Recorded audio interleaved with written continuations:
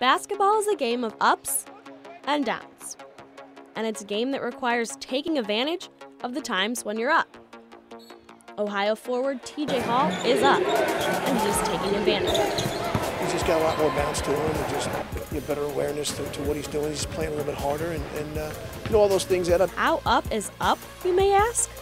Well, in Ohio's game against Miami, TJ played for five minutes, but scored zero points. Against Penn State, he played for nine minutes and scored two points. But against Akron, he played 18 minutes and scored 12 points.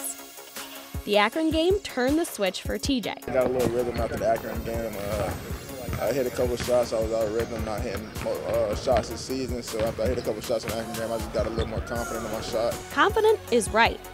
Since the Akron game, TJ jumped into a starting role and scored 10 against Ball State, 12 against Bowling Green, and 8 against Central Michigan. Yet this spurt is nothing new for this Bobcat. During last year's Sweet 16 run, TJ was 7 of 14 from three point land from the beginning of the MAC tournament on, and TJ feels his current rhythm is very familiar. I feel the same way I did last year at the end.